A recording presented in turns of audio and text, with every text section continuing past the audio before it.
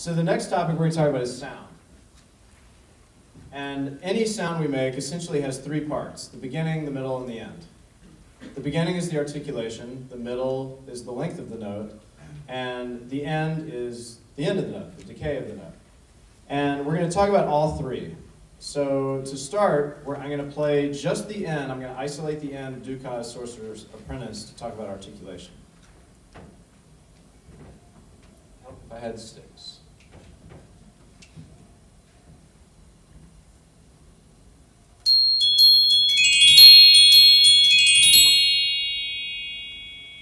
So that's version one. Here's version two.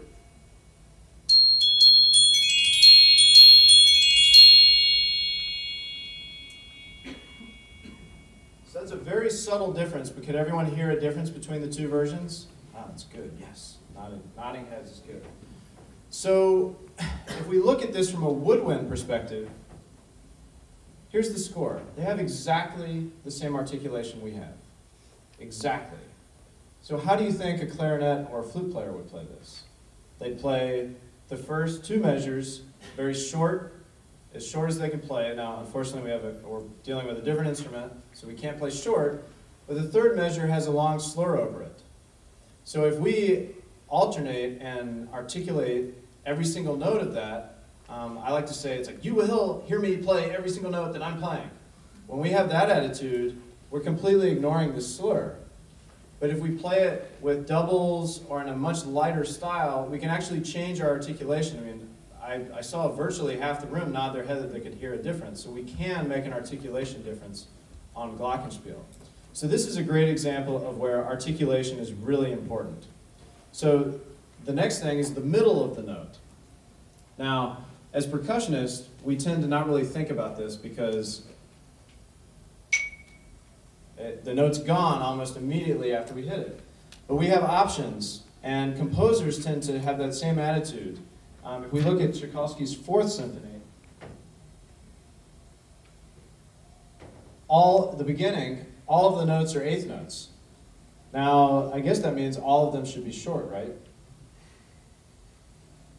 I, am seeing some massive shakings of heads here. So if that's not the case, then we really need to go to the score to look and see what we should do. So the, our first entrance at A, the parts on the left, the score's on the right. Um, I'm probably in the way of a lot of you. But, um, what's the first note everyone plays? It's long, and ours is short. So Tchaikovsky didn't help us out very much here. So we have a long note to start.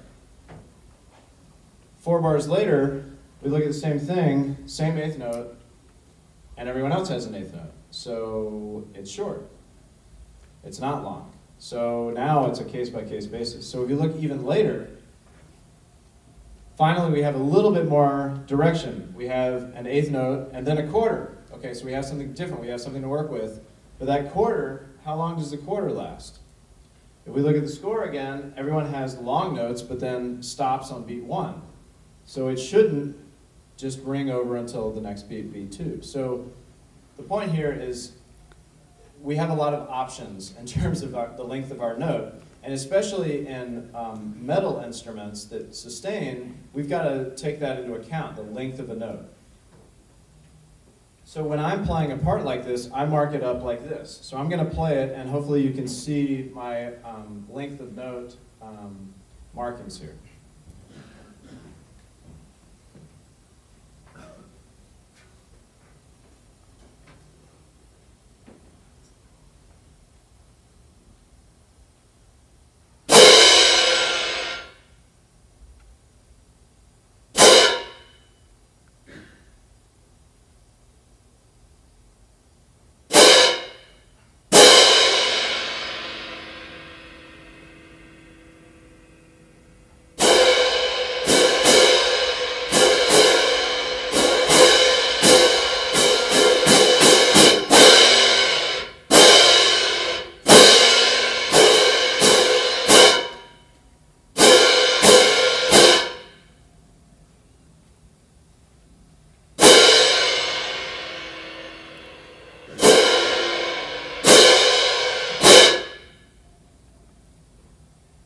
We just played the page based on the notes on the page, it probably sounded nothing like that.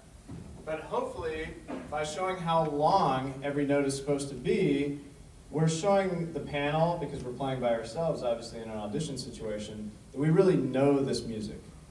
So that excerpt is a great example and a great transition into our next topic, and that is